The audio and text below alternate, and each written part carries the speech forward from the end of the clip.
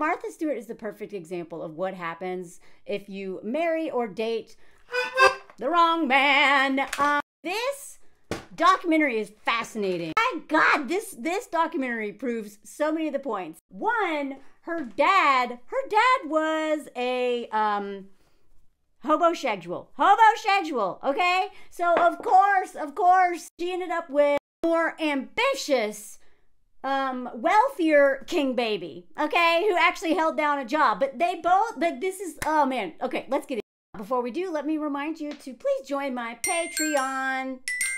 I do lives over there with amazing people, authors, uh, some of my mutuals, travel content. Do I just hang out with people on Zoom? We I do so much over there, and that's how me and my mutuals, especially moving forward, how we're probably going to be able to only way we'll be able to pay rent. So if they ban these apps or just shadow ban us, at least if you follow us even in the free tiers, um, you can at least uh, like not lose us in the chaos. So also want to remind you of Operation Femme Freeze. It is a call to action for the holidays and everything. Uh, me and my mutuals have set this up. And if you know any wealthy donors who want to help support creators you're probably going to get shadow banned or just like whatever, um, uh, send them our way because uh, anyone know wealthy women who want to support other women? Please send them our way. Links to both, uh, all of that is, is in my uh, caption. So there's so many topics I would love to cover that this uh, documentary talks about. I'm going to try to focus on just one aspect of it in this video. Like I would love to talk about the way that the, the, the issues of domestic labor, emotional labor, invisible labor, and all those things. I think that's going to be a separate video, though some may be like tied into this.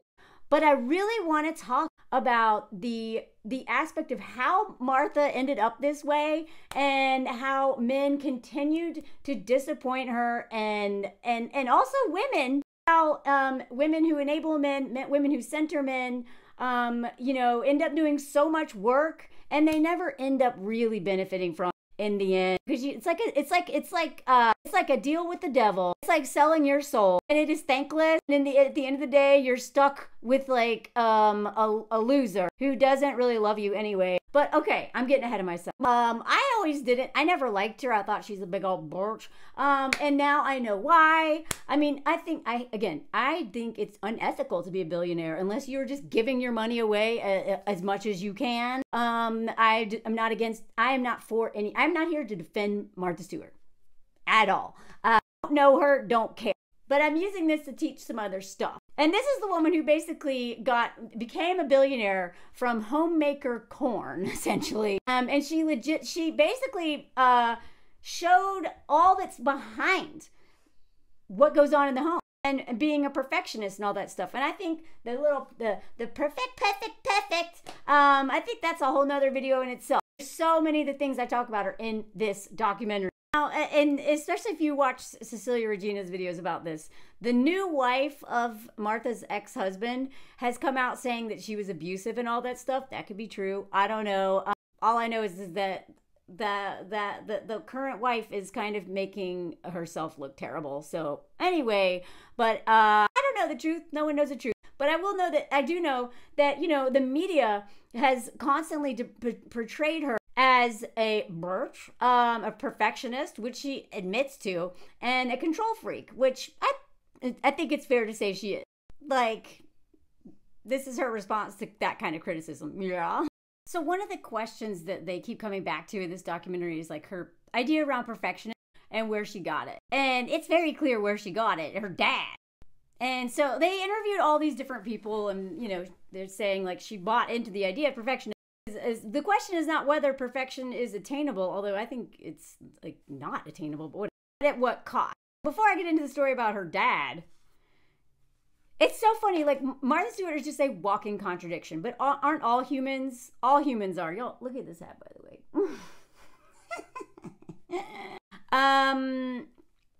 So she was talking about things she doesn't like. She doesn't like weight. Doesn't like inefficiency, avoidance, which is so funny because she also talks about she she hates talking about feelings. She avoids her feelings, but she hates avoidance. You know what I mean? Like she is full of contradictions just like every human being. Um she uh, doesn't like impatience.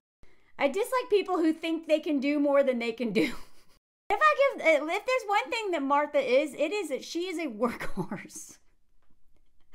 she is like a force of nature that can't be stopped. Now, um, that can be both a an asset an asset and a liability. And she is she is the representation of so many of these these like internalized things of capitalism and you know white supremacy culture right? Because that's all about perfectionism and either or and this black and white thinking. If you don't know what i'm talking about I, i've mentioned it in several videos this last week. There's like the tenets of it and um but anyway uh, this idea of never being able to rest you know like all these things and patriarchy is absolutely tied into her mindset and yet at the same time she's also like working within the system and trying to like push against the system but then like whatever. Anyway it's fascinating. Even the way she talks about her dad. You know her dad like she I, I it's she almost she seems to really idealize her father in a way that kind of explains how she ended up with such terrible partner she doesn't like people who are uh, not paying attention to details even though she pays a little maybe too much attention to details then also dismisses details like the fact that, you know, she kind of blows off the fact that she had an affair. but, uh, you know, like, she doesn't like people who are being mean just to be mean. But she's been accused of being really mean. Um, and yet at the same time, it sounds like her dad was a very mean person. Actually, she says he was. Hold on, I'm getting ahead of myself. Just like a lot of us, um, it's not. It seems like Martha hasn't done a lot of that inner work, and it's very, you know, our generation is not known for really going to therapy and dealing with this work. Not saying that all people in that generation don't, but I'm just saying it is. this generation is so resistant to dealing with what's maybe driving their behavior and also it wasn't a therapy wasn't a big thing back then and it was definitely not like it was it was not as mainstream it's not as accessible. It's still not accessible for a lot of people but it's so funny to hear her talk about things she really really believes in and then she actually does those things the opposite of those things and whatever. It's fascinating. The contradictions. The contradictions. Then she gives this speech if you want to be Um, I really think a lot of women um, can learn from her, like some good lessons, but also take those with a grain of salt because mm, she definitely is not someone you want to idolize. But she does give some pretty um, interesting advice based on her lived experience. Like, if you want to be happy for a year, get married. If you want to be happy for a decade, get a dog. If you want to be happy for the rest of your life, make a garden. Now, she only had one marriage, and it was a long time, and it did not go well. But she had two men who really screwed her over romantically. She just didn't marry the second one, and uh, that didn't work out well for her either. So she did. It's like she explored all the options, or she she lived all the ways that men can ruin your life. Her father, uh, her first husband, and the, the the second guy she dated for 15 years. Like she didn't marry him, but like, so you, this idea that like, okay, I'm not going to get married that didn't work out well for her either. Just dating a man and having a relation like anyway, I'll get to that in a bit. Uh, throughout this whole thing, she's she she is admittedly a perfectionist. And like I said, we're trying to get away from that. It's good to have a high standard. It's a good it's good to hold yourself accountable. It's good to strive for better. But perfectionism, that is a that is that is this this is her and she, you know, she's not a healthy person. And then she says, and it runs in my in the family. And it started with my father. Her whole like her description of father, and you know, I'm I'm I'm sure a lot was cut out. So we're also only getting what the editor and the director and you know the interviewers questions like there's so many things that are telling her story and she was actually not really happy with this documentary if i have time i'll get to that either in this video or another one um, but you know what? If I had, if I was famous and I had someone make a document documentary about me, it would not be a man. I tell you that. Um, not saying that a woman wouldn't have bring into this, these patriarchal ideas and that a woman couldn't make it make it just not represent who you are. But like she complained about the camera angles. She was like, there was three different cameras. Why he chose the worst camera angles, you know, and any woman who who who who is you know, looking at herself in the mirror all the time knows that like the double chin thing, right? Like if you, if you want to get rid of that, you go a little bit above, you know, like and that's why a lot of times if you ever ask someone to take a photo of you, you don't it's rare that you ask a man because they don't like think about they're not obsessed with their image as much as women traditionally have been forced to be. So then she goes into the story about her father, how he made them all learn how to garden. And she's bragging about how he could grow anything. And she's really trying to like, she seems to have a really good idea of her dad. Like she brags about him all the time. And then she'll say these one liners, and you're like, what? So she also talks about how she was the ideal daughter. So I think there were six children and she was the second. Now, I forgot to look this up, but I don't know if the oldest was a son or a daughter. So, but she definitely is stuck in oldest daughter syndrome. Um, and we'll get to that in a second. She says, I wanted to learn. He had a lot to teach, and I listened. And I was the one that trusted to iron his linen shirts. So, like, even the stuff she's saying, I'm like, okay, um, we've got um, Daddy's Little Girl. Uh, we've got the favorite child. We've got the um, adultification of children. Uh, we got oldest daughter syndrome or older daughter syndrome. Why the hell is she ironing his shirts?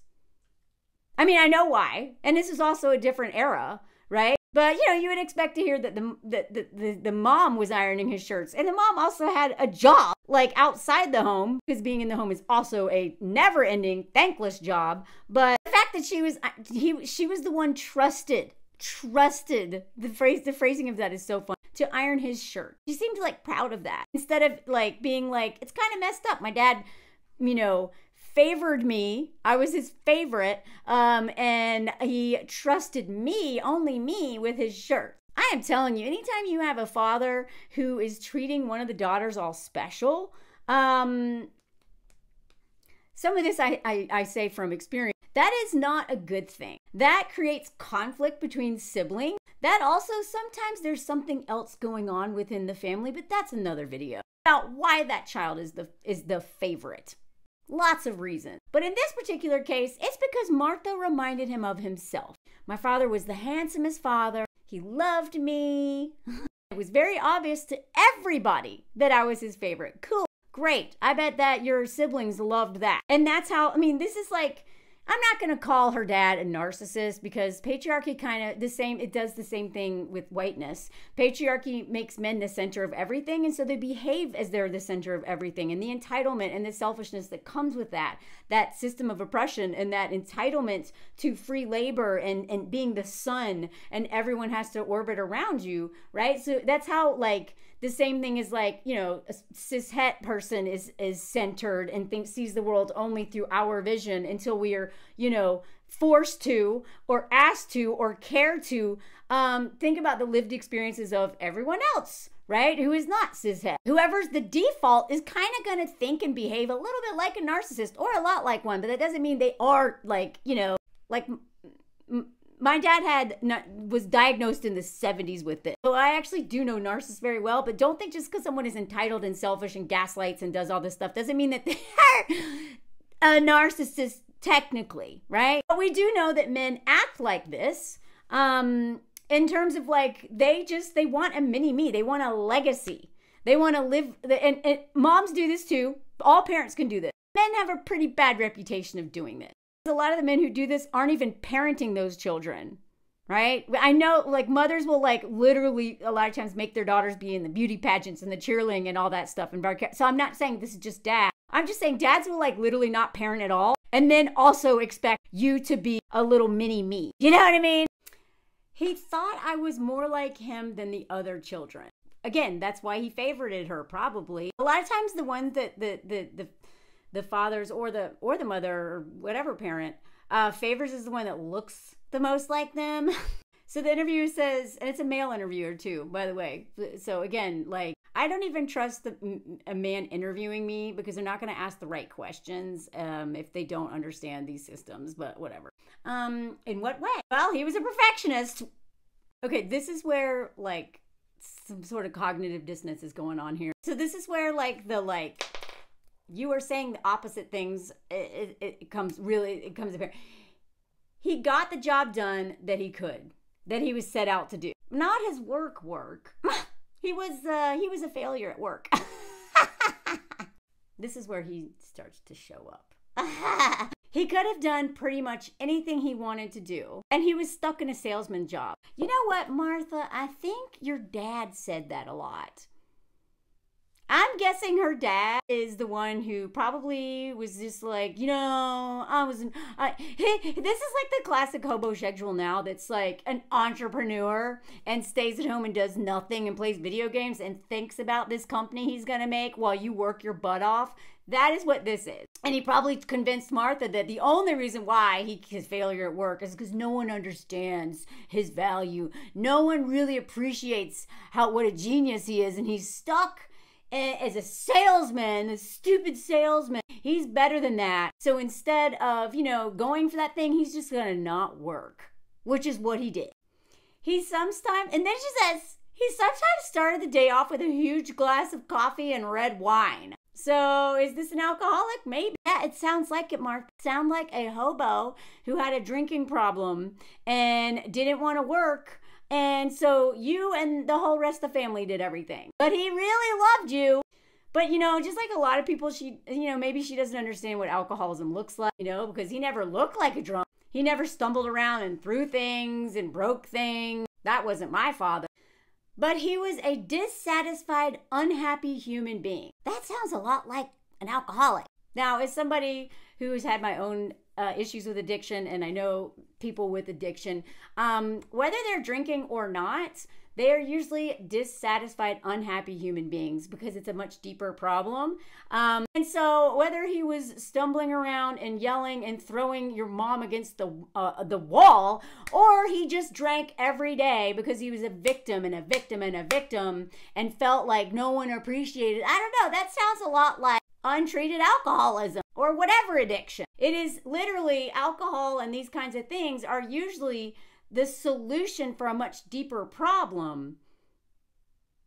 And so this guy sounds like miserable to be around, to be honest. But you know, that's kind of the, the kind of thinking that children have to do. Is if the the one of the parents in the home, um, you know, we, the, we have to do all kinds of like mental emotional gymnastics to justify that this person really loves us. They don't work they're mean they have a very high standard they're perfectionists they're in a bad mood all the time never really you know and then you know make me uh, iron their shirts and do all this stuff for them but they really really really love me and i'm their favorite you know? He couldn't support his six kids and we needed food. This is like there seems to be I don't know, and it's not that like I understand relationships with parents are very, you know what I mean.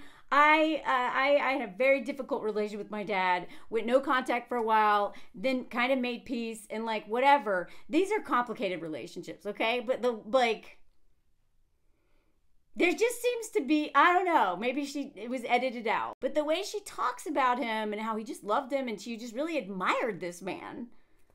And yet he was a loser. You know? He's got six children who need to eat, and he's too good to be a salesman, so he does nothing.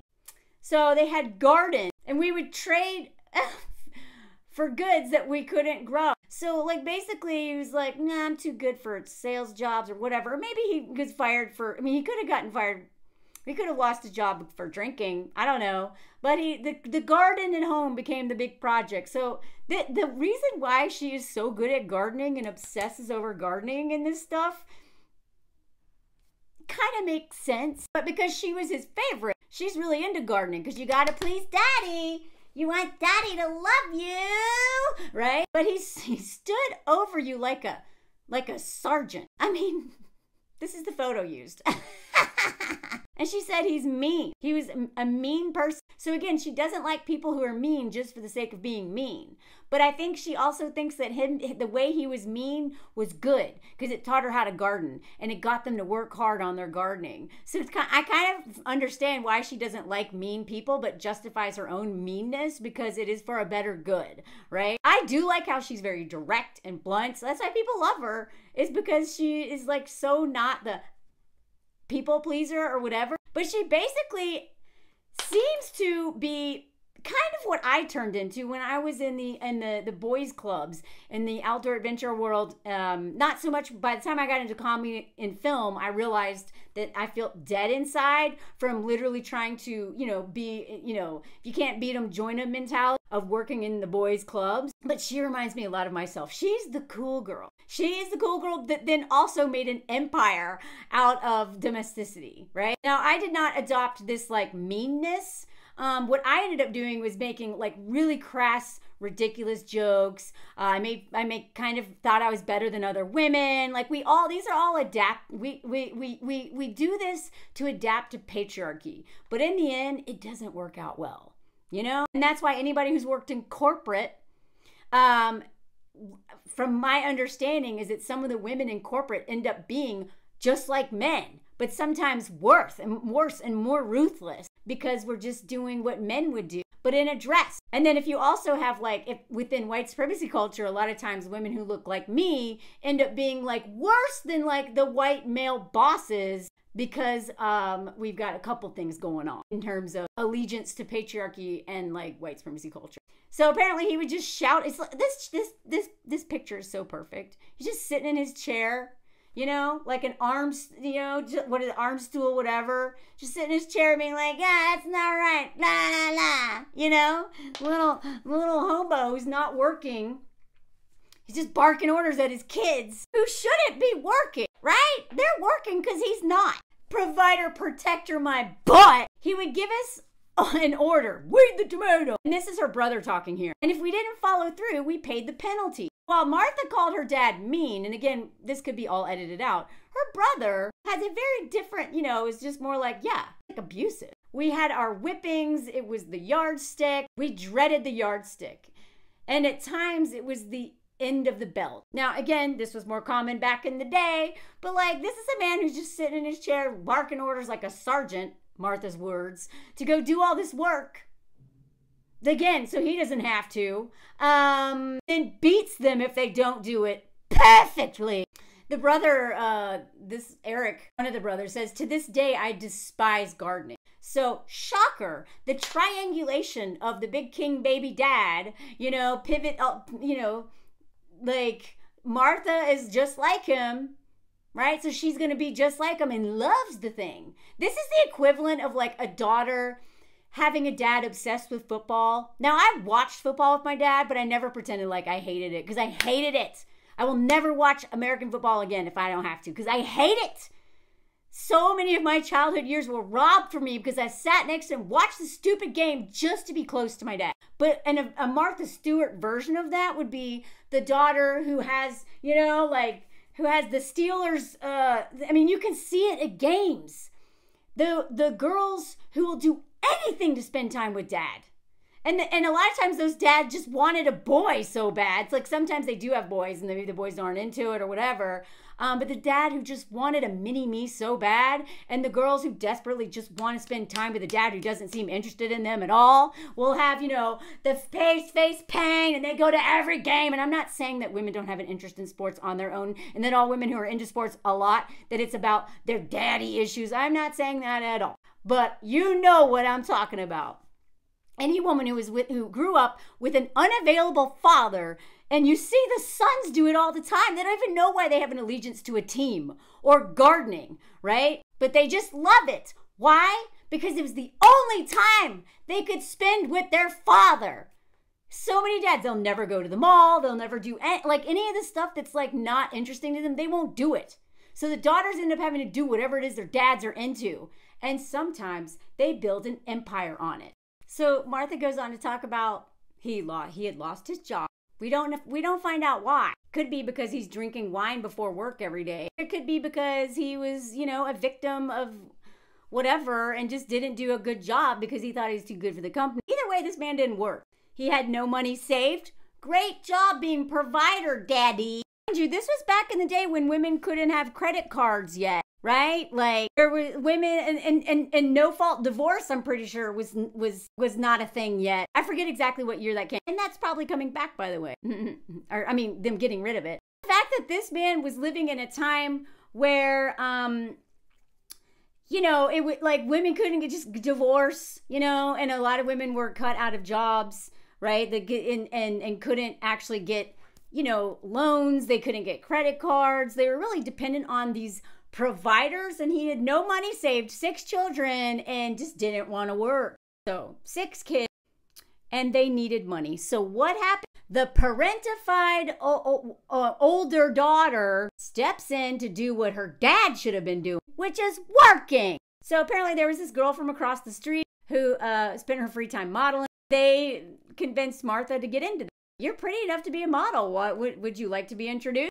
She started off at $15 an hour, which I mean, this was what? Oh my God, I can't even do the math. This was so many decades ago. like $15 an hour is like not even what? I just looked it up. So Martha was born in 1941. I said, okay, maybe this was like 1957 that she would have been doing this, maybe even earlier. $15 an hour in 1957 was equivalent of the purchase power of 168.50. So this this teenager was making $168 an hour while her dad was sitting in a folding chair in the yard barking orders at everybody to grow food, to eat, because he wasn't working, which was a lot better than the 50 cents I was getting babysitting. Side note, I looked this up. Uh, Stewart was 10, this is on Wikipedia. She worked as the occasional babysitter for the children of Mickey Mantle and Yogi Berra. Like all these people, Yankee. And at 15, she started modeling. So they have some of these clips from the things she was odor proof your body. Wow, things really haven't changed much, right? How much you want to bet this is targeted towards women? Better not smell, especially down there. Maybe you should douche. so uh, she wasn't like a supermodel, but it was good money. And everybody in her town was like, wow, Martha's a model. So again, admittedly not a supermodel, but I was certainly successful. And this right here. I would give most of my paycheck to my mother. Why didn't you give it to your dad?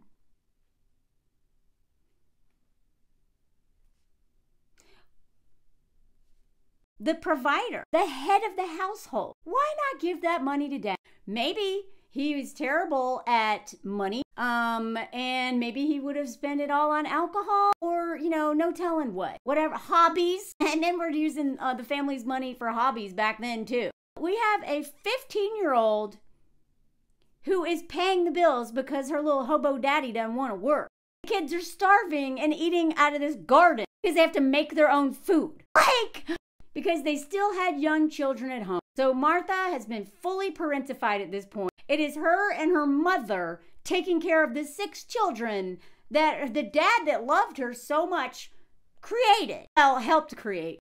And it was her mother that made sure we always had good food. She was such a good cook. So Martha stood by her mother's side in the kitchen and learned a lot of this stuff, right? Learned everything she could. So she learned how to be mean and how to bark orders at people and be a perfectionist from her dad. You know, I'm not saying her dad's an evil man. Nobody is good or bad. But it seems like a lot of the things that ended up uh, a kind of a toxically masculine um, feminist. And I just, again, I love that she's direct. I love that she's not like, hey, I love that about her. But she has been accused of being very difficult to work. But at the same time, all women who are direct and who, you know what I mean? So this is a very nuanced conversation, okay? But the things that she learned from her dad um, and since especially she was his favorite and, you know, kind of worshiped him, she took that in the business world. And unlike him, she actually wanted to work, you know? And of course she did. She's a woman. Like women never question having to work unless you are literally born like into like so much wealth. But then you end up doing a lot of emotional work no matter what. So, not working tends to not ever be an option for a woman. Look at the retired women in your life. How many of them, even when they're retired, the moment they've been waiting for, are volunteering for like five different things or hosting all this crap and they literally don't know how to rest? Or start adopting a bunch of animals. Soon as the kids are grown, they get a dog.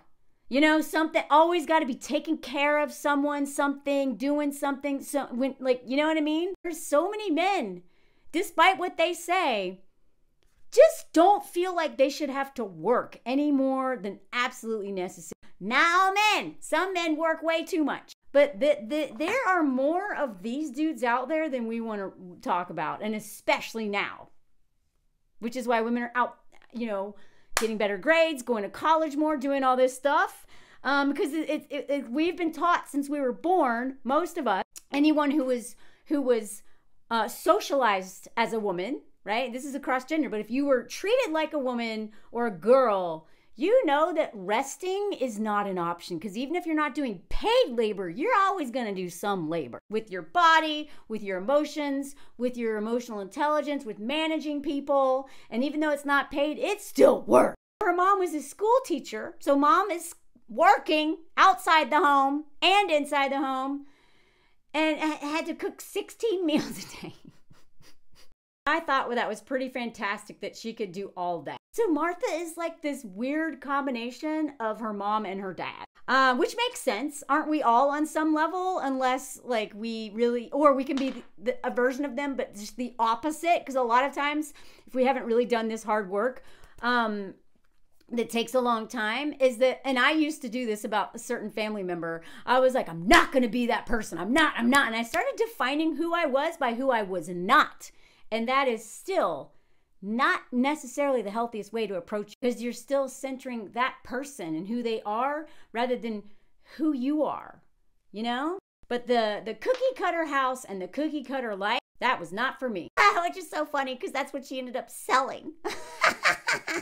and then she gets a scholarship, right? Because she doesn't come from money. She's literally having to grow the food she eats. Now, granted, she does come with white privilege and and all, clearly she was in a, in a neighborhood or like around people with money and power. She still has a lot of privileges right out of the gate, but she wasn't born into wealth. Maybe even if she was, her dad seems to not be able to hold on to any money. She gets a scholarship to Barnard, which is, you know, they believe that's uh, the the women ver- version of uh, Columbia or whatever, and it's here. It's here that she meets the next man that's going to kind of try to ruin her life. Um, but the, the, nothing seems to stop this woman. But I'm going to make the, the next part about her ex husband part two because this all makes so much sense that she may not have ended up with a little hobo, but she ended up with the same person. They're all on the king baby hobo, hobosexual spectrum. Some just don't want to make money at all and they don't want to work at all. And some are very successful, but will still offload as much labor onto you and exploit as much free labor from you as possible, and that's still kind of hobosexual. These two, these two still have, hold on, I can't get them on my fingers. These two are the same person in terms of the level of entitlement um, and selfishness. The, the details just look a little different. And we'll talk about this man in part two. Let me know if you want to hear part two. Please follow my Patreon and check out Femme Freeze. All those links are in my uh, caption. And let me know if you heard the comment song. Welcome, welcome to the comment song dating app edition. Yes, these are photos from the times I was on the apps. Look at, look at, look at, look at these men. They're just like, hey, I hate you, I hate you. And just in case you didn't know, I can also take your life like that. Hey, welcome, welcome to the comment song.